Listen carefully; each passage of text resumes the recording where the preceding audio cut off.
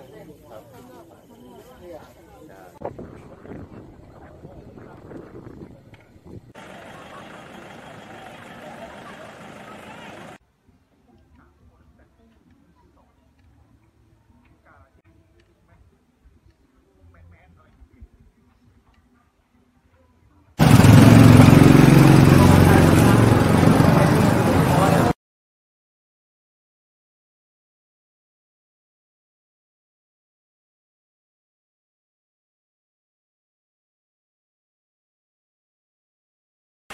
ผมคิดว่าในนาทีนี้คงต้องให้โอกาสรัฐบาลใหม่ได้ทำหน้าที่ไปนะครับแล้วก็เป็นความหวังแค่ว่า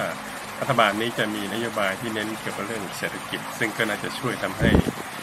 การฟื้นตัวของเศรษฐกิจบ้านเราดีขึ้นนะครับเพราะที่ผ่านมาต้องยอมรับความจริงกันว่าในเรื่องของเศรษฐกิจเนี่ยเราค่อนข้างจะมีปัญหานะครับ ก็เป็นความหวังครับว่าถ้ารัฐบาลได้ลงมือทำงานเนี่ยเต็มที่ รอเรื่องของงบประมาณแผ่นดินที่จะออกมาก็คงอาจจะขับเคลื่อนเศรษฐกิจของประเทศไทยให้ก้าวหน้าต่อไปได้ครับ คิดว่าตอนนี้นาทีนี้เรื่องการท่องเที่ยวจะเป็นนโยบายสำคัญที่รัฐบาลให้ความสำคัญนะครับ เพราะว่าเราต้องการเม็ดเงินจากต่างประเทศจากนักท่องเที่ยวเข้ามาฟื้นฟู